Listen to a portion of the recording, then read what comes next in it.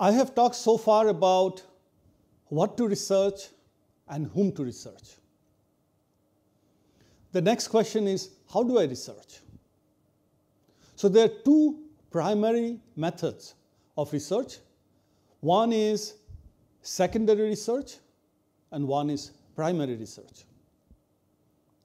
Secondary research is when you collate data and findings which others have collected. So how do you do that? Online search. The easiest is go to Google or one of the browsers and do an online search. You can also look at public reports and public databases. I will show you some examples of that. You can also have trends and technology reports which are published by big research companies. And I'll show you a couple of examples. That's secondary. Primary research is when you go out to the field and you collect first-hand data. It's not second-hand data, it's first-hand data, and therefore it's called primary research. And there's some standard ways that I recommend to you. I will explain this later, but some of these techniques are called walk the streets. Another technique that you can follow and I recommend to you is watch the trolley. I'll explain a bit more later on. And then, of course, there are things like focus groups and online surveys. Let me show you some examples. How to do online search? Clearly, you go to a browser. You can use Google, you can use DuckDuckGo, Microsoft Bing, and for the last one year or so, you've got ChatGPT. So you can always go to ChatGPT or an OpenAI and you can type in your research questions and you'll get a lot of data. Now, there's still secondary, second-hand data. You can also look at academic sources. So some of the world's best are, you can go to the Harvard Business Review, you can do it, you can look it up online, or you can go to an MIT Technology Review, you can go to Google Scholar, or you can just walk to a library. The picture below. You can go to a college library or you could go to a public library. And these are what are called academic resources. Some of it will be paid for and you have to pay for them, but a lot of it will be free. And if you're doing a research for business reasons, I'd strongly recommend that you actually go for the paid version and get exactly what you're looking for.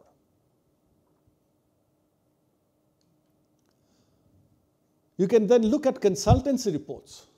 They're the big consultants, McKinsey, Bain, Boston Consulting Group or BCG. They're the big four. KPMG, EY, Price Waterhouse, Deloitte. They all published what are called white papers. And you can always go and do a search of your topic and name some of those consultants that are publishing the white papers. So that's another source and get a lot of data for free. And if it's for business, I suggest to go for the paid version. Government database. The lot of government database which has a lot of detailed data. The most important one and the most extensive one maintained by the government of India for India is the website that you see, data.gov.in. And you can see lots and lots of data which is there for you in that database. And other companies and other countries also have government databases. You can also go to financial databases. These are financial journals or financial sites or financial apps which give you a lot of data financial data, but they'll give you only financial data. So for India, Money Control, Moneycontrol, Sharekhan, etc., they're very good financial databases. And you can get a lot of data on sales and profits, margins, etc. Globally, you can look at Yahoo Finance or Bloomberg, etc. A lot of it will be free. A lot of it will be paid for. If you're doing it for business, I suggest to pay for it. But you'll get a lot of it free anyway. The other thing I strongly recommend that you use is Google Trends. So basically, if you go to a site which is called Google Trends, you can find it yourself. You can type in your search term, and from Google, you will get to know what is the trend. So, for example, you want to launch a new soap with a new smell in a new packaging. And you want to see what is the trend for soaps. Is it going up? Is it going down? Which countries is it going up? Which countries is it going down?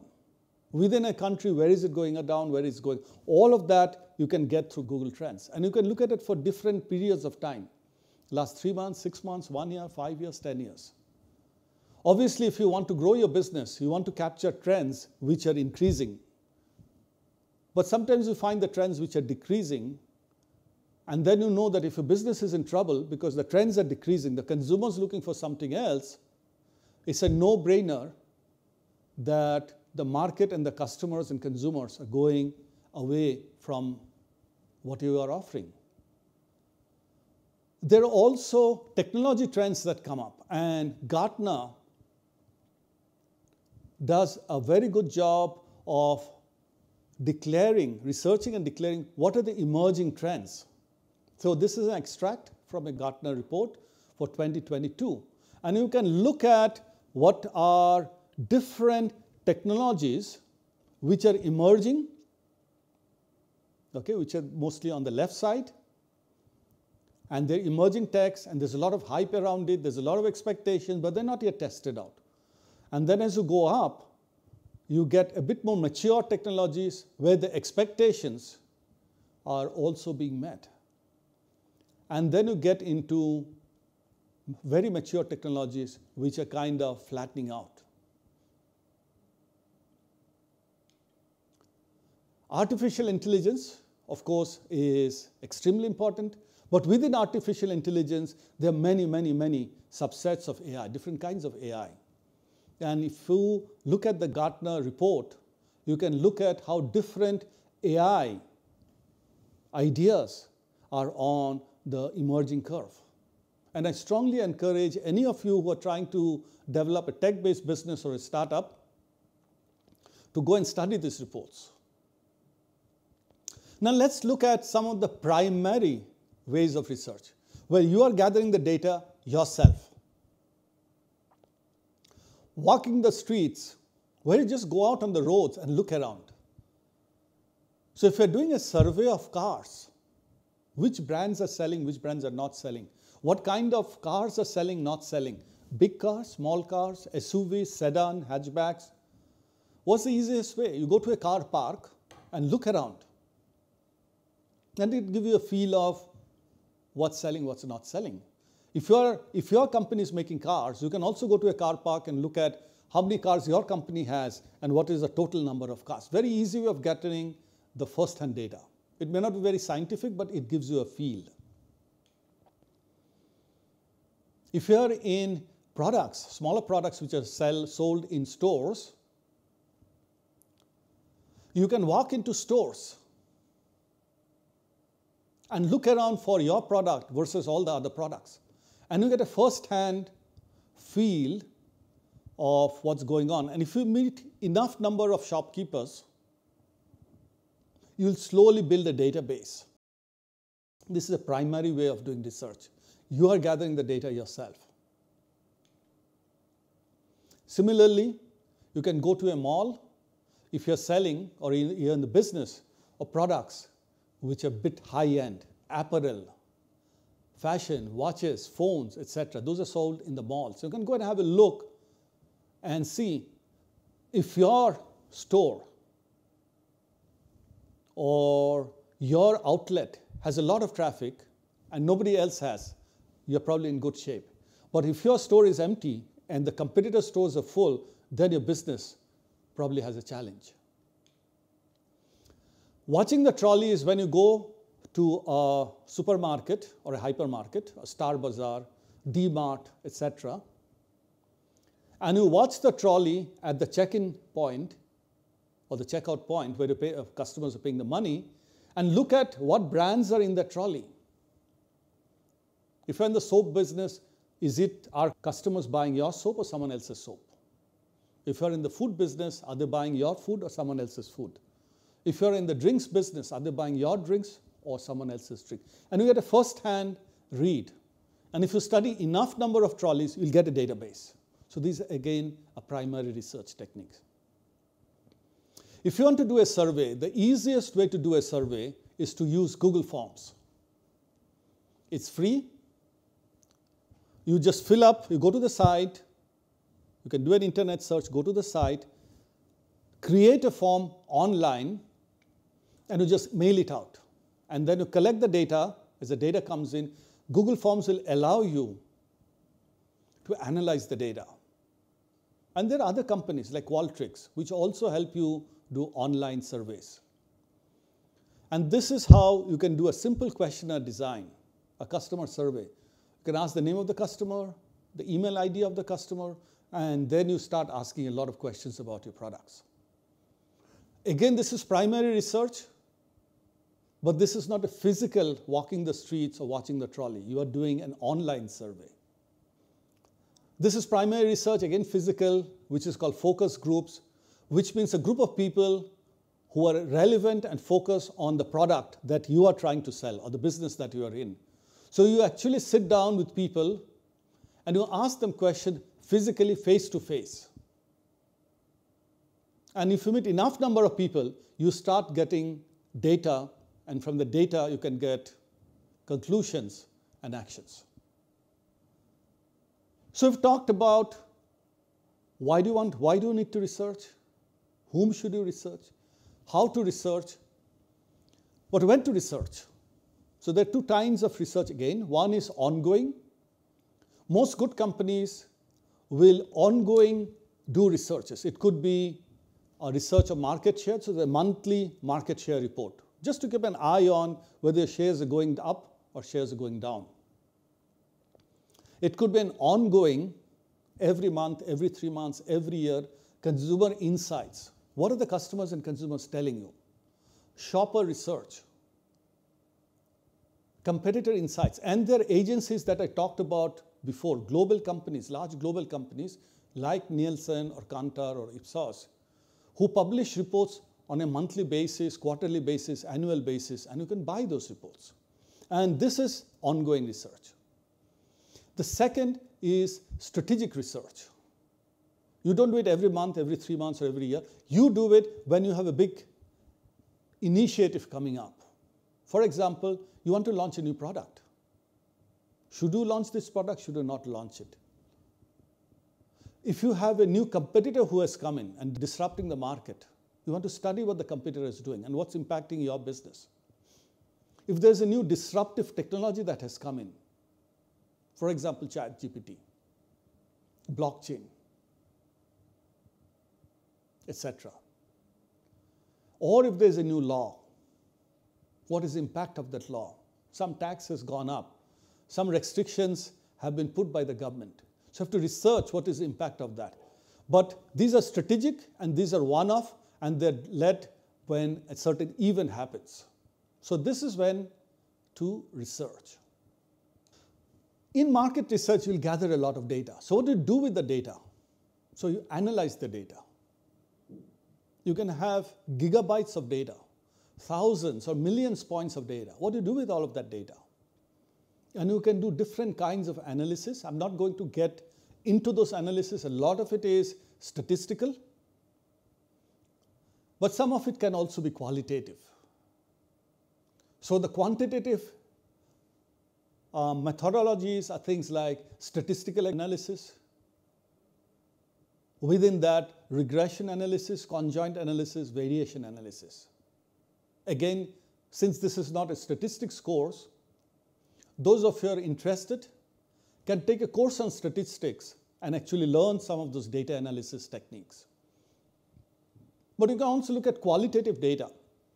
verbatims, what the customers are telling you. It could be descriptive. You know, your car is too small, too cramped, too slow, too fast. So it's a descriptive. It's not a data, but it's a description.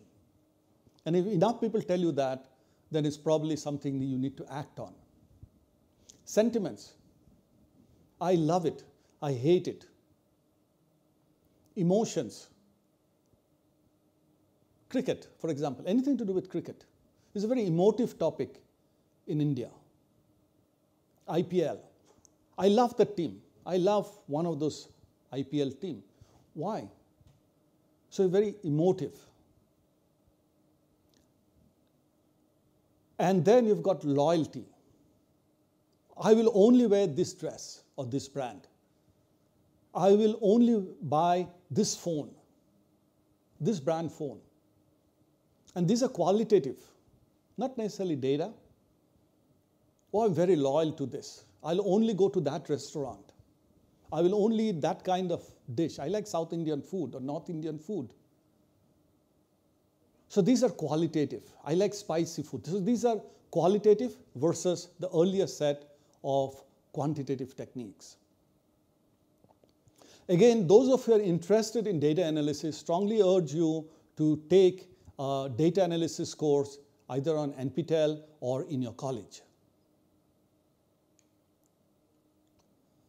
And therefore, there are all this kind of analysis that you can do. And you can see on the screen market drivers and trends, and within that, there are many parts of it. Segmentation.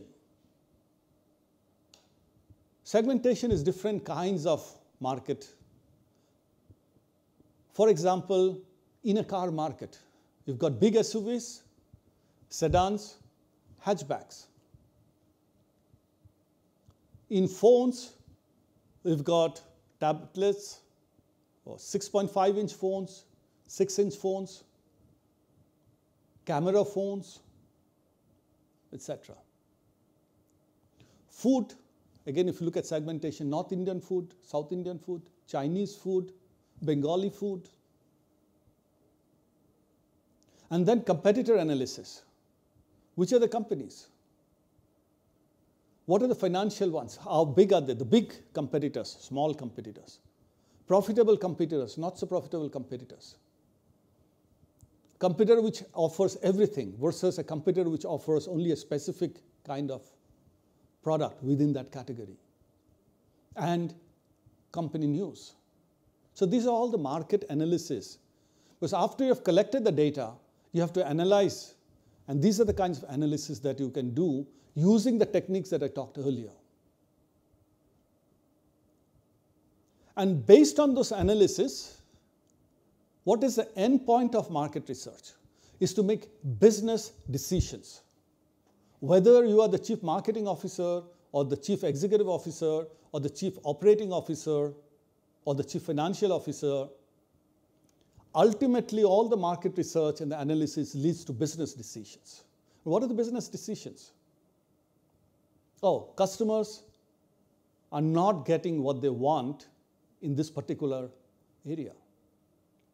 So our company will launch a new product. Other business decision could be, it's a market which is exploding. The market is really growing big. But we are not present in that market. Let us enter that market. So new market entry. External competition.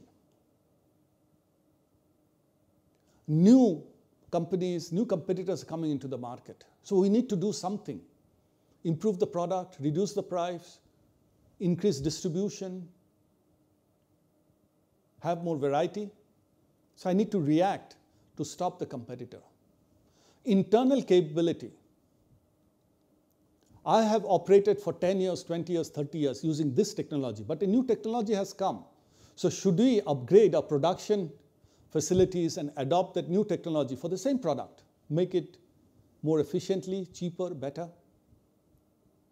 That's an operating decision. And then launch or not launch. And if you are an entrepreneur, do you start up or do you not start up? So these are business decisions which is the final endpoint of all the MR market research, competitor research, customer research, product research, technology research that you do. Because ultimately, it is all about building a better business. So, with that, again, I'd like you to reflect and write down in your journal. You have thought about a product in your earlier reflection point. You would have thought about who to research, how to research, what to research. Now, write down in your journal how will you research? Primary, secondary. Will you walk the streets, watch the trolley? Will you do Google Trends, Google search? Will you look at a McKinsey report or a Boston Consulting Group report, etc., etc.? So reflect for three minutes.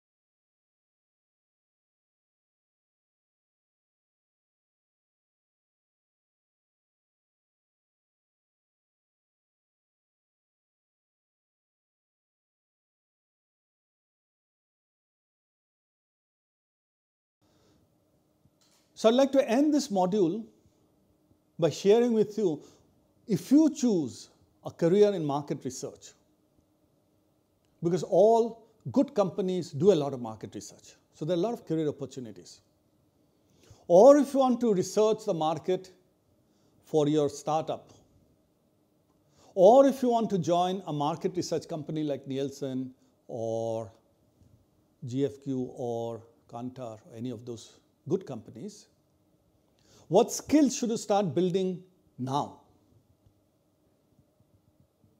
The first skill you should build is learn about research techniques. There are many good courses at NPTEL and maybe in your college. So enroll and learn about quantitative research or qualitative research and understand what is market research methodology. Do a course on data analytics which will probably take you in the area of mathematics and statistics. Big data has many career opportunities. It's also important if you're doing a startup. So acquire those skills. Apart from that, you need to have critical thinking skills. Critical thinking is very objective thinking, typically asking the question in any situation, what, who, how, when, why. So there are courses on critical thinking and I encourage you to develop those skills. But since market research also ultimately has a business context, you also need to develop marketing and product management skills because you cannot just be a mathematician or a statistician or researcher. To be a really good marketing or a good chief executive officer or a good entrepreneur, you also need to get the basics of marketing and product management covered. And I encourage you to do a couple of courses and learn these skills. Finally, it's all about presentation and communication.